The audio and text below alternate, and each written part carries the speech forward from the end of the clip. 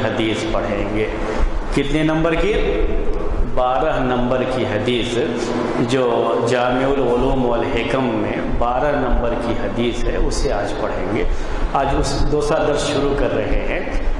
अल्हम्दुलिल्लाह रब्बिल वसलत अला रसूलिल अमीन, व अला आलिहि व अस्हाबिहि अजमईन व बाद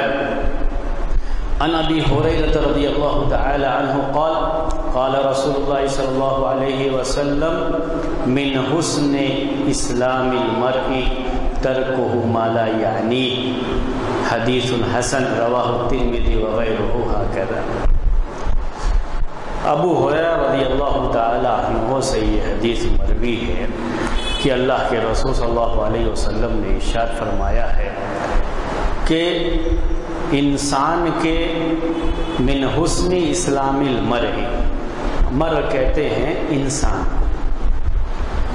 इसी से आदमी के लिए लफ्ज़ इस्तेमाल करते हैं और आखिर में गोलता बढ़ा देंगे तो औरत के लिए हो जाता है अलमर आतु तो अलमरातो का लफ्ज़ बहुत सुना आपने। औरत के लिए क्या कहते हैं अरबी में? अलमरातो। और रजुलों का अपोजिट जो है तो उसी से ये अलमरऊ असल में अपोजिट है।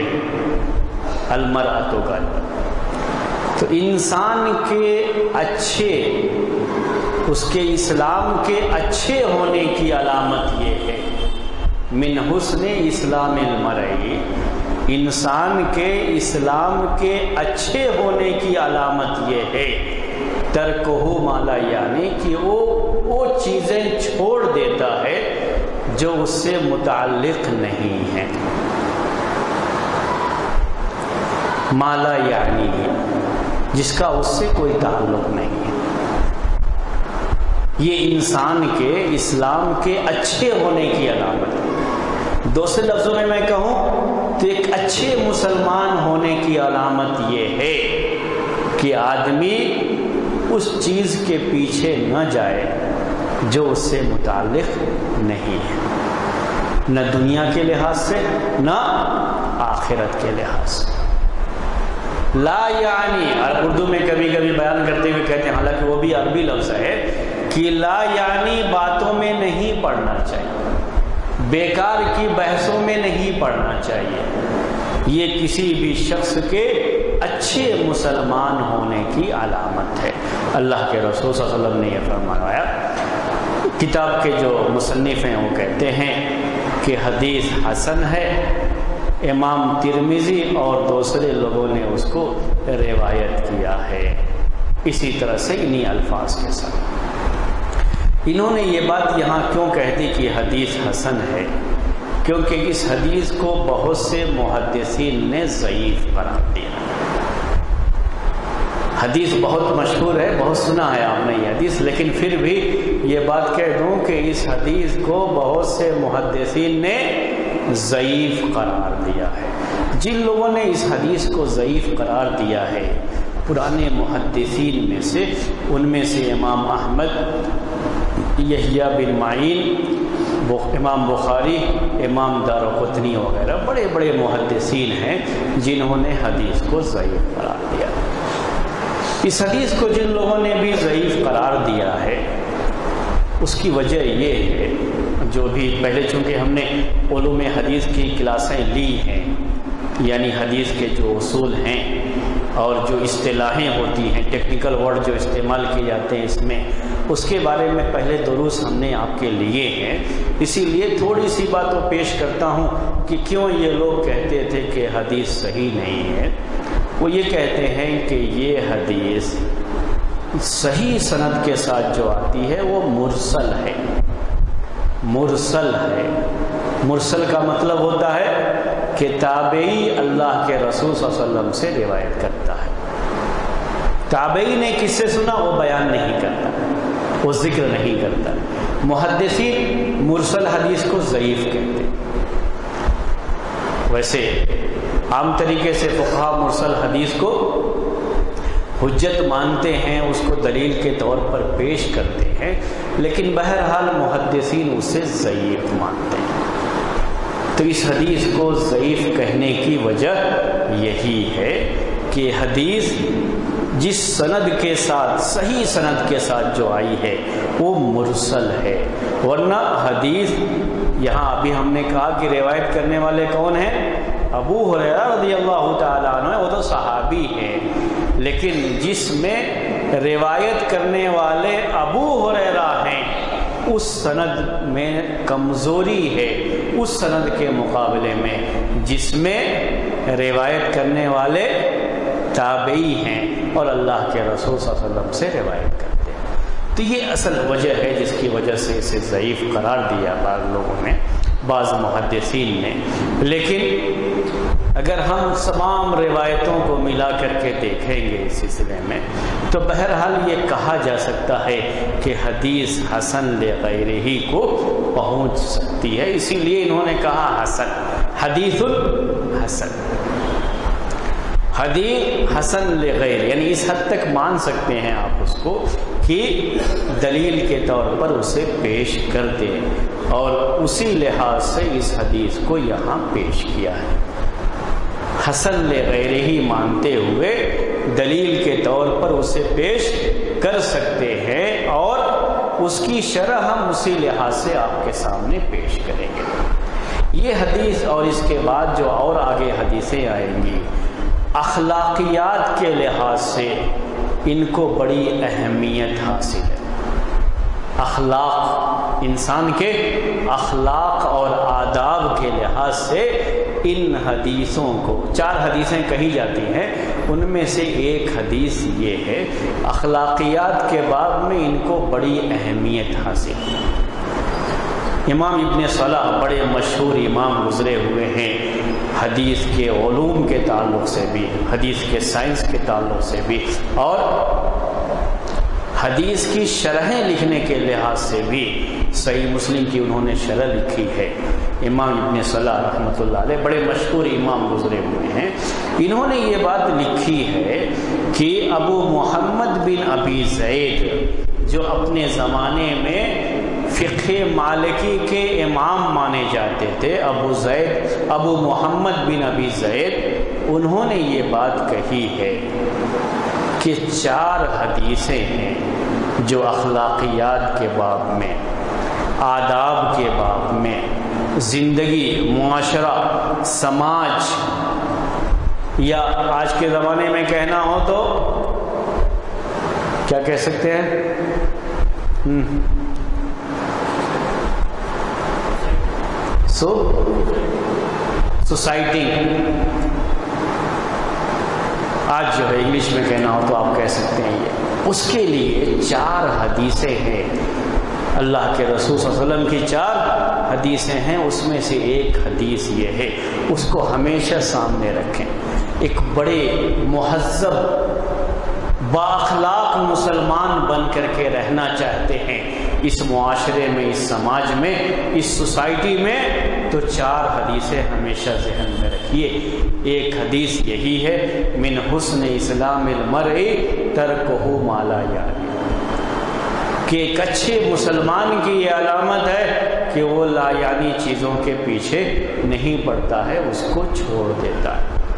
दूसरी हदीस, अल्लाह के रसूल सल्लल्लाहु अलैहि वसल्लम का ये फरमान, आगे ये हदीसें आएँगी, उसकी शरह भी आएगी आपको, लेकिन आपको सिर्फ़ याद दिलाता हूँ आज के दरस में कि आपने इशाद फरमाया, मन का वल आखिर फल यकुल खैरन और ले यसमुत कि जो अल्लाह और यौम आखिरत पर ईमान रखते हैं, हकीकत में जो मोमिन हैं, उनको चाहिए कि वो भली बात कहें, अच्छी बात कहें ज़बान से, या खामोशी इख्तियार करें, अखलाक के बाब में, आदाब के बाब में। ज़बान से जब भी कोई बात निकले तो अच्छी बात निकले।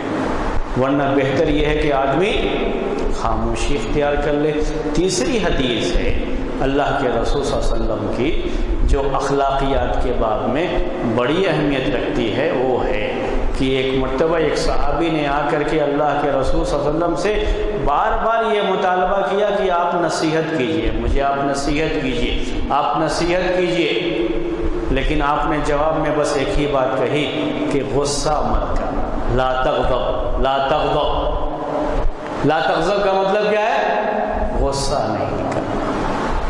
अगर समाजी लिहाज से एक अच्छे इंसान बन करके ज़िंदगी गुजारना है तो अल्लाह के रसूल वसलम के ये हदीस हमेशा सामने रखें। ला तफजब गुस्सा मत अपने गुस्से को कंट्रोल करना। जब हदीस आएगी तो शरह भी करेंगे उसकी। लेकिन अभी हम आपके सामने चार हदीसें पेश कर रहे हैं, जिनके बारे में इन्होंने ये बात कही है। अबू मोहम्मद बिन अबी जैद ने ये बात कही है कि ये चार हदीसें हैं, इंसान की अखलाकियात में उसको बड़ी अहमियत हासिल है। चौथी हदीस है कि इंसान जो अपने लिए पसंद करता है, वही दूसरे के लिए भी पसंद करता जो खैर आप अपने लिए, सही हदीस है बिल्कुल ये। सही बुखारी की हदीस, वो भी आएगी इन आपको किताब में तो शरह करेंगे। क्योंकि अब वही हदीसें, यानी उसी कौल की रोशनी में, पूरी किताब में सिर्फ़ वही हदीसें पेश की गई हैं, जो हदीसें, लोगों ने कहा कि बड़ी जाम हदीसें हैं। और इस्लाम के जो तालीमत हैं, इन हदीसों में सिमट गई हैं। उन्हीं हदीसों को इस किताब में पेश किया, इसीलिए उसका नाम रखा है जाम जामूम वलहकम तो चौथी हदीस ये है। क्या है वो हदीस? हाँ। ईमान की ये अलामत है, बयान किया अल्लाह के रसूल वसल्लम ने कि अपने भाई के लिए वही चीज़ पसंद करे जो अपने लिए पसंद करता तो ये चारों हदीसें अपनी जगह पर आएँगी। आज हमारे सामने जो हदीस है, वो है, मिन हुस्न इस्लाम मर तरको माला यानी इंसान के अच्छे इस्लाम की, एक अच्छे मुसलमान की पहचान ये है कि वो लायानी चीज़ को छोड़ देता है। जो चीज़ उससे मुतालिक नहीं है, उसे छोड़ देता है। अब हमको इसे समझना है, इसकी शरह करना है आपके सामने। लायानी चीज़ एक इंसान के लिए क्या हो सकती है? जिसको उसे छोड़ देना चाहिए। पहले हम इस पर गौर करेंगे लायानी चीज़ क्या हो सकती है? बोलिए, क्या हो सकती है? अभी थोड़ा मैंने सवाल करना छोड़ दिया था तो आप नाराज़ ना हो जाएँ, फिर से सवाल करना शुरू कर रहा हूँ। हम्म।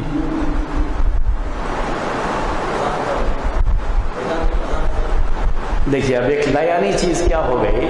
आदमी बेकार का मज़ाक कर रहा है तो इन्होंने जो बात कही, इसका ताल्लुक जबान से है। नहीं? वही ना कहना चाह रहे इनका क्या है कहने का मतलब? बेकार की बातें जबान से ना कहें। हदीस में जो अल्फाज इस्तेमाल किए गए हैं, अरबी जबान के लिहाज से कहा गया, मा ला यानी माँ ये कहते हैं अरबी में, इसमें मौसूल है। जो उसके लिए ला यानी है। उसके मतलब की चीज़ नहीं।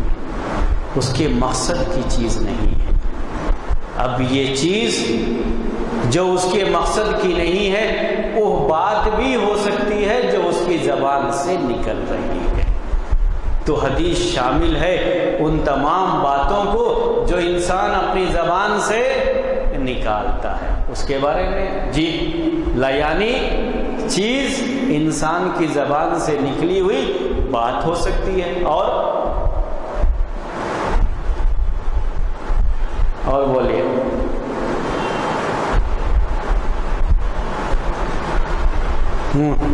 ला यानी चीज़ जबान से निकली हुई बात हो सकती है। हाँ वो वो भी जबान सही अभी हमने जबान वाली बात कह दी। ये सिर्फ़ लयानी नहीं है गीबत, ये तो हराम भी है। यानी कभी चीज़ हराम ना भी हो, फिर भी बिला ज़रूरत क्यों आप खाम खा में अपनी जबान को खराब कर रहे हैं? एक चीज़ तो ये अदब अखलाक के ताल्लुक से ये बात जो हाँ? अब ये दूसरी चीज़, खेल को जिन्होंने कहा अभी। खेलने के लिए आप अपना हाथ इस्तेमाल करेंगे। या पैर इस्तेमाल करेंगे तो हाथ इस्तेमाल करेंगे तो कहेंगे वॉलीबॉल। पैर इस्तेमाल करेंगे तो क्या कहेंगे? फुटबॉल। नहीं। और जब हाथ पैर दोनों इस्तेमाल करेंगे तब क्या कहेंगे? तो मुश्किल है हाँ? खेल कूद का मतलब क्या हुआ? हम उसके लिए एक लफ्ज इस्तेमाल करते हैं। लायानी चीज़ ये सिर्फ़ जबान से निकली हुई बात ही नहीं, बल्कि जो भी हम अमल करते हैं, काम करते हैं, चाहे उसमें हमारा पैर इस्तेमाल हुआ हो, चाहे हाथ इस्तेमाल हुआ हो, चाहे सर इस्तेमाल हुआ हो, कुछ भी इस्तेमाल हुआ हो, हमारा जिस्म इस्तेमाल हुआ है और हम कोई काम करते हैं। बात हो गई? इंसान का अमल जो ज़ाहिर होता है वो या तो जबान से होता है या हाथ पैर से होता है। एक अमल दिल का भी होता है, लेकिन वो ज़ाहिर नहीं होता। हम उसके बारे में बात नहीं कर रहे हैं यहाँ पे। तो इस हदीस में वो तमाम बातें आ सकती हैं, आती हैं, जो इंसान जबान से निकालता है। और वो तमाम काम भी हदीस में आ जाते हैं जो इंसान अपने हाथ पैर से करता है, जिसमें अपना हाथ पैर इस्तेमाल करता है। तो कह लीजिए कि इंसानी ज़िंदगी में जो भी अमल है, चाहे वो जबान का अमल हो, चाहे आधा और जवारे का, ये हाथ और पैर का अमल हो, जो भी अमल है, सारा अमल अगर ला यानी है तो उसे छोड़ देना चाहिए। लायानी बात भी नहीं करना चाहिए और लायानी काम भी नहीं करना चाहिए। ये एक मुसलमान के अच्छे होने की, उसके अच्छे इस्लाम की अलामत है। ये बात आ गई। अब हम उसकी तफसील में आएँगे। जबान से लायानी बात उन्होंने एक बात कही, हँसी मज़ाक करना। हँसी मज़ाक करना। हँसी मज़ाक करें जबान से। कोई हर्ज है? लायानी चीज़ है ये या करना चाहिए? करना चाहिए लेकिन। हाँ? करना चाहिए या नहीं? बोलिए। हाँ करना चाहिए, थोड़ा बहुत करना चाहिए। अब कितना करना चाहिए और कितना नहीं करना चाहिए, अब हमारे पास कोई गिलास, कोई पैमाना तो है नहीं कि उस पर नाप करके देखेंगे कि इतना हो तो टेम्परेचर ठीक है, इससे ऊपर नहीं होना चाहिए। है नहीं? ये आपके पास है कोई?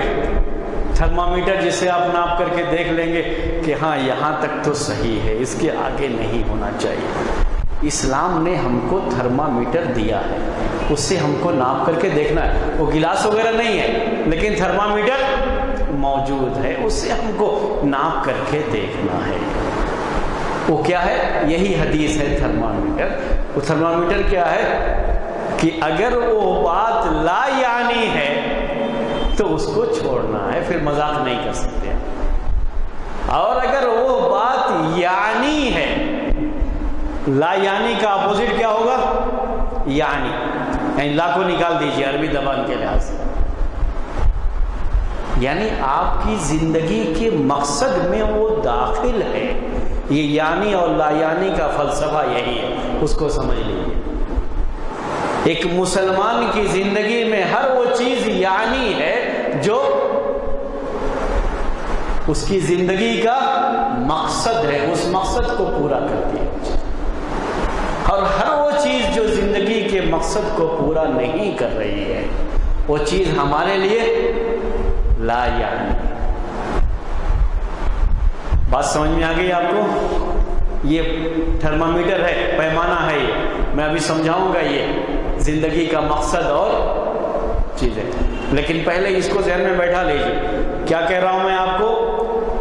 एक इंसान की एक मुसलमान की, सारे इंसानों की ज़िंदगी का मकसद एक ही है, लेकिन अपनी ज़िंदगी के मकसद को एक मुसलमान सामने रखता है, उसके सामने हमेशा वो चीज़ रहती है। तो ज़िंदगी का मकसद, अगर ये बात उस मकसद को पूरा करती है तो वो बात हमारे लिए मुफीद है, और वो बात होनी चाहिए, ज़बान से निकलनी चाहिए। और अगर वो बात हमारी ज़िंदगी के मकसद के ख़िलाफ़ है तो वो किसमें आ गई? लायानी में आ गई। अब बताइए, ज़िंदगी का मकसद क्या है? बोलिए।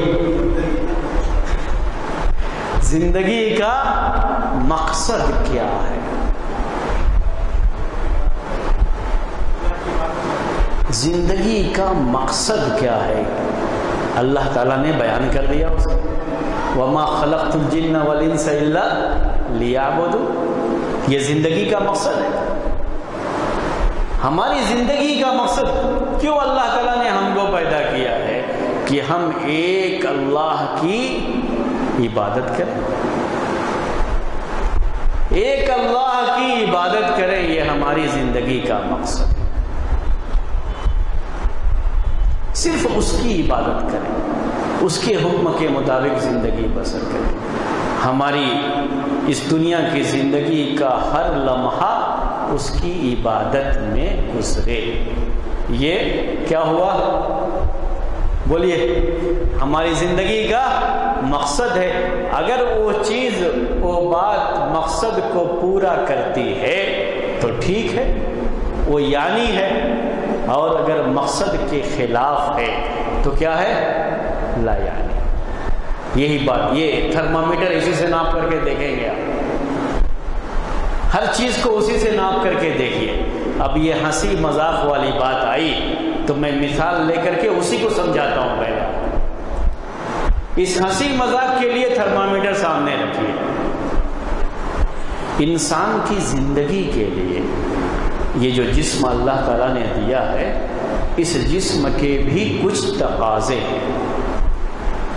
आप अल्लाह ताला की इबादत सही तरीके से कब कर पाएँगे? जब हाँ बोलिए, आपका जिस्म सेहतमंद सेहतमंद है तो अल्लाह ताला की इबादत सही से कर सकते अगर सेहतमंद नहीं है तो बैठ के नमाज़ पढ़नी पड़ रही है कुर्सी पे। देखा नहीं आपने? परेशानी है या नहीं? सेहत ज़रूरी है। अब इस सेहत के लिए इंसान हर वक्त अगर रोता रहेगा तो डॉक्टर साहब बता सकते हैं कि उसकी सेहत पे असर पड़ेगा या नहीं? बोलिए। पड़ेगा पड़ेगा उसको कभी हंसना भी चाहिए। कभी थोड़ा बहुत मज़ाक उसके लिए। तो अब वही, यही थर्मामीटर। है अगर मज़ाक इस हद तक है, ये भी जायज़ की बात। अगर झूठ बोल दिया आपने उसमें तो वैसे ही वो हराम हो गया। यहाँ जो बात चल रही है, वो हराम के बारे में नहीं, वो तो हराम है ही। एक जायज़ चीज़ जो हराम नहीं है, लेकिन वो भी आदमी छोड़ देता है, जब वो उसकी ज़िंदगी के मकसद में फ़ायदा नहीं पहुंचाती। तो ये हँसी मज़ाक उस हद तक आदमी कर ले, जितना उसकी ज़िंदगी के लिए ज़रूरी। इस जिस्म की ज़रूरत है। जब उस ज़रूरत की हद तक करेगा तो ये लायानी नहीं है। उतना अल्लाह के रसूल वसल्लम ने भी ने भी किया किया नहीं किया हासिल? उतना किया अल्लाह के रसूल उसमें कभी झूठ नहीं, कोई चीज़ नहीं, बस थोड़ी देर हंसने के लिए। लेकिन बहुत मामूली सा यह होता। अभी तो लोगों ने इसको ज़िंदगी का मकसद बना लिया। ऐसा है क्या? जिस्म की एक ज़रूरत है वो नहीं, बल्कि ये ज़िंदगी का मकसद बन गया। बहुत सारे लोग प्रोग्राम चलाते हैं, टीवी वगैरह पर हैं कि उसको इंटरटेनमेंट जो का नाम देते हैं, वो पूरा हँसी मज़ाक ही रहता है, हंसने हंसाने का ही रहता है। कितने लोगों की रोजी रोटी इसी पे चल रही है लोग बहुत उनके दिल दादा होते हैं, उनसे जाते हैं सिग्नेचर लेते हैं जो होते हैं उसमें। ऑटोग्राफ देना जैसे कहते हैं। ये क्या है? एक मुसलमान कभी ये नहीं कर सकता। कोई अगर कोई बिल्कुल सच्ची बात ही कहता है, सही बात, वैसे तो इसमें सब झूठ भी रहते हैं, लेकिन सही बात भी कहता है। लेकिन बहुत ज़्यादा हंसना जो इंसान की सेहत के लिए ज़रूरी है, उससे ज़्यादा हंसना, ये दिलों को मुर्दा कर देता है। दिल बीमार हो जाएगा में। ज़िंदगी का जो मकसद है, अल्लाह के अल्लाह की इबादत करना, उस मकसद के खिलाफ ये चीज़ हो जाती है। मैंने एक मिसाल दे दी आपको एक थर्मामीटर, यही थर्मामीटर है। दूसरी मिसाल लेता हूँ खाना पीना ये इंसानी ज़रूरत है। है? बोलिए। है या नहीं? खाना पीना इंसानी ज़रूरत है। क्योंकि खाने पीने से इंसान के बदन की ताकत ये बाकी रहेगी। और उस हद तक ये इंसानों के लिए ज़रूरी है। मकसद अल्लाह की इबादत करना एक अल्लाह की इबादत करने के लिए ज़रूरी है कि आदमी सेहतमंद रहे। तो सेहतमंद रहने के लिए उसको क्या करना पड़ेगा? खाना पीना पड़ेगा। ये उसके जिस्म की ज़रूरत है। अब हलाल चीज़ ही खाना पीना चाहिए। वो तो अपनी जगह पर है। लेकिन हलाल चीज़ भी आदमी खाने पीने के ताल्लुक से उतना ही हाँ जितना जितना अल्लाह की इबादत के लिए ज़रूरत है। बकिया, ये मामला अगर हो जाए कि ज़िंदगी ही खाना पीना हो जाए तो लायानी हो गया या नहीं? बोलिए। ये लायानी हो गया। ज़िंदगी ही बन गई खाना पीना।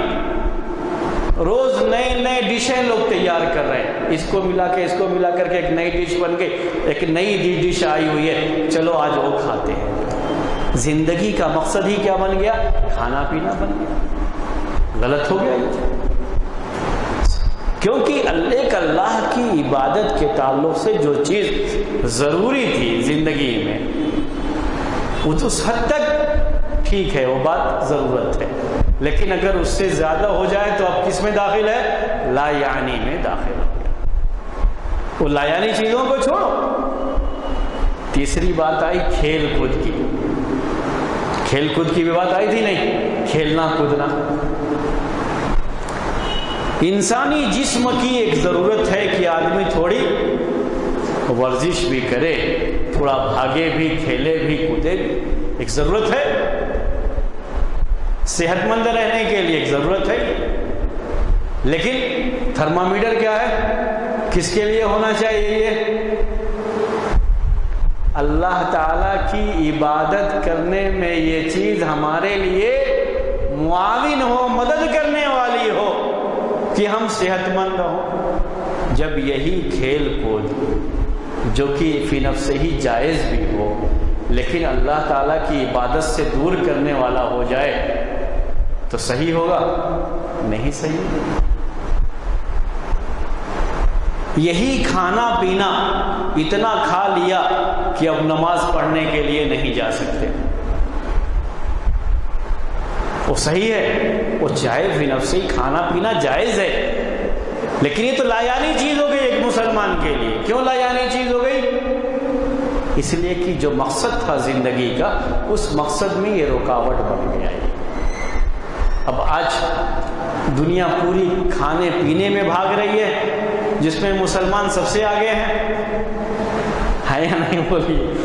मैं कोई इसके लिए नहीं कर रहा हूँ, लेकिन एक हकीकत है ये, अब रमज़ान का महीना करीब आ रहा है तो आप देखेंगे कि रमज़ान के इस महीने का स्पेशल के नाम पर जो है जगह जगह यहाँ से हम जाते थे रमज़ान के महीने में तो फ़ूड मेला बोल करके रमज़ान का महीना जो खाना पीना छोड़ने का महीना, दिन के वक्त में, उसमें फ़ूड मेला लगता है। ज़िंदगी क्या हो गई? खाना पीना। ज़िंदगी क्या हो गई? खेलना कूदना। अभी आप टीवी वगैरह पर देखें तो हर रोज कोई ना कोई खेल चलता अब बहुत से इंसान दुनिया में ऐसे हैं जिनकी ज़िंदगी का मकसद खेलना है वही उनके उनके फ़ील्ड है, कहते उनकी फ़ील्ड यही है। उस फ़ील्ड में इतना आगे बढ़ गए। हमारे बहुत सारे मुसलमान नौजवान साथी भी कहते मैं फुला का फ़ैन हूँ और फुला का फ़ैन का एक खिलाड़ी जिसने अपनी ज़िंदगी का मकसद नहीं समझा। हम उसके पीछे भागेंगे तो हम लायानी चीज़ों के पीछे भाग रहेगी नहीं। एक अच्छा मुसलमान कभी ऐसा नहीं कर सकता। ये हदीस है। मिन हुसन इस्लाम मरे कर को माला यानी। एक अच्छा मुसलमान कभी भी ये नहीं कर सकता। खेलना ज़िंदगी के लिए जितना ज़रूरी है, उसी हद तक उससे ज़्यादा अगर हो गया तो क्या है ये? ला यानी है। खेल में दिलचस्पी पैदा करना। मुझे बहुत इंटरेस्ट है इसका, कहते हैं ये। भी ये भी लायानी ये चीज़ हमको हमारी ज़िंदगी के मकसद से दूर करती जब इंटरेस्ट पैदा होगा तो रास्ता चलते हुए सामने वाले से आप पूछ लेंगे, अगर टीवी के सामने नहीं भी बैठे हैं तो कम से कम पूछ लेंगे, भाई स्कोर क्या है बता दिए होगा या नहीं बोलिए? ये किसमें होता है? दिलचस्पी की वजह से। उससे दिलचस्पी रखना भी इंसान की पैदाइश का जो मकसद है, उसके खिलाफ। मिन हुसन इस्लाम मरे तर्को माला यानी। हदीस की अहमियत को मैं बता रहा हूँ अभी आपको कि हदीस इंसानी ज़िंदगी के हर शोबे से ताल्लुक़ रखती है। और उसको आपको जहन में रखना है। जायज़ चीज़ें हैं। इस हदीस का ताल्लुक जायज़ चीज़ों से ही है, हराम चीज़ों से नहीं है। वो जहन में रखिए। हराम चीज़ों के बारे में बात नहीं हो रही है। किसके बारे में हो रही है? जायज़ चीज़ों के बारे में। लेकिन यही जायज़ चीज़ें जब हमारी ज़िंदगी के मकसद में रोड़ा बन जाए उससे हमको हटाने लगे। तो वो चीज़ हमारे लिए लायानी है। और उस लायानी चीज़ को छोड़ देना एक अच्छे मुसलमान होने की है। हमारे लिए वो चीज़ लायानी सोना। सोना इंसान की ज़िंदगी की ज़रूरत है। अगर कोई आदमी नहीं सोएगा हाँ तो क्या होगा उसका हाँ और कमज़ोरी के अलावा। हाँ बीमारी किस तरह की होगी? अगर नहीं सोएगा। हम्म। जी, उसको बाद में किसी पागल खाने में भर्ती करना पड़ेगा, जो अगर साफ़ लफ्ज़ों में कह दूँ तो यही होगा कि कहाँ ले जाना पड़ेगा? ये किसी भी डॉक्टर को पूछ लीजिए आप। अगर आदमी कई दिन लगातार नहीं सोएगा तो मेंटली लिहाज, यानी ये जो है, वो तो जिस्म का अलग बाद में मामला आएगा, वो मेंटल जो कहते हैं पागलपन, वो आ जाएगा उसके पास। सोना ज़रूरी है। इसीलिए ऐसे लोगों का इलाज करने में सबसे ज़्यादा कोशिश करते हैं कि पहले सुलाया जाए उसको। सो ले अगर अच्छी तरह से चीज़ खत्म हो जाएगी।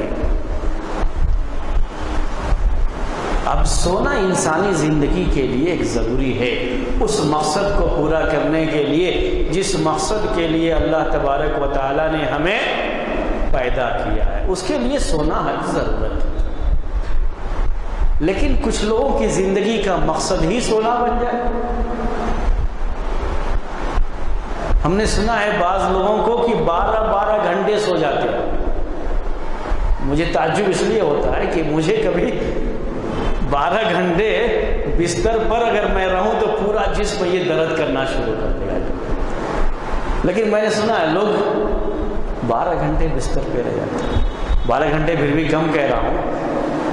कभी कभी जब बहुत जागे हुए थे और अब थोड़ा आराम का मौका मिला, आदमी सो गया, अलग बात है। मैं रोज़ की बात कर रहा हूँ, ये रोज़ की ज़िंदगी के ताल्लुक से। एक इंसान के लिए अच्छी सेहत के लिए कितने घंटे सोना है? हाँ। छ से आठ घंटे। आपकी अब उम्र के लिए, एज के लिए कितने घंटे सोना चाहिए? छः घंटे। ज़्यादा उम्र के हों तो?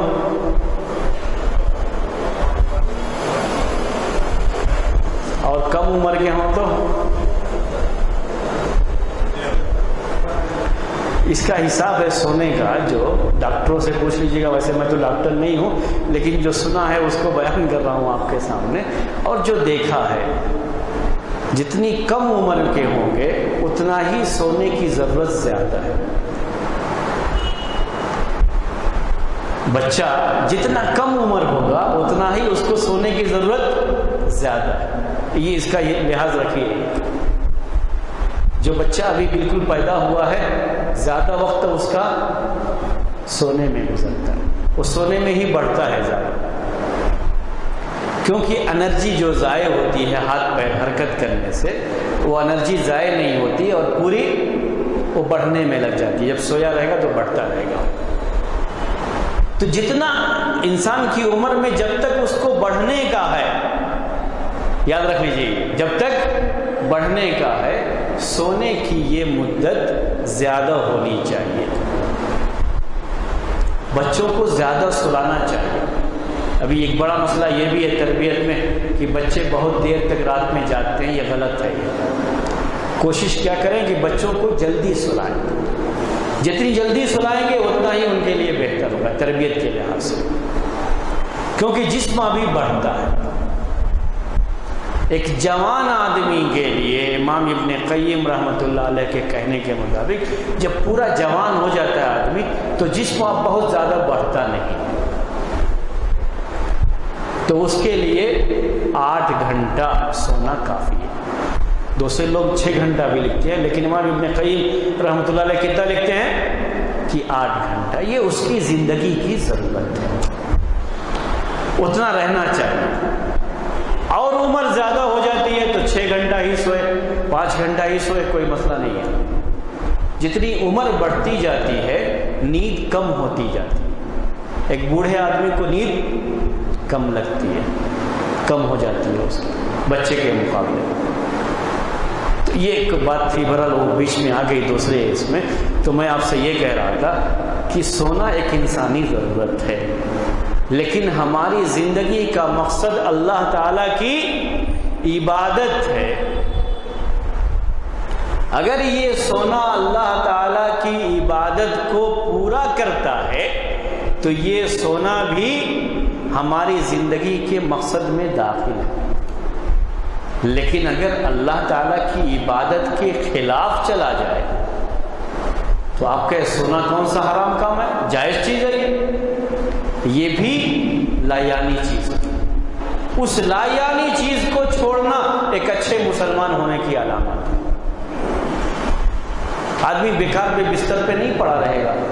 जब सोने की जो ज़रूरत थी पूरी हो गई तो अब बेकार में बिस्तर पे नहीं पड़े रहना चाहिए। उठ के अपने काम में लगना चाहिए। मशगूल होना चाहिए। अगर सोने का मामला ऐसा हो जाए कि आदमी नमाज़ छोड़ के सो गया तो ये जायज़ है या हराम है फिर? ये तो हराम में आ जाता है, हम उसकी बात नहीं कर रहे। हम तो उस सोने की बात कर रहे हैं जो इंसान के लिए जायज़ तो है, लेकिन उसकी ज़रूरत पूरी हो चुकी है सोने की, उसके जिस्म की ज़रूरत के लिहाज से, फिर भी सोता है। तो ये ऐसा सोना है कि एक अच्छा मुसलमान उसको भी छोड़ देगा, वो हमेशा सोता नहीं रहेगा। अगर बच्चा सोता है तो मैंने आपसे कहा, उसको सोने दीजिए। बच्चों को सोने दीजिए, कोई मसला नहीं है।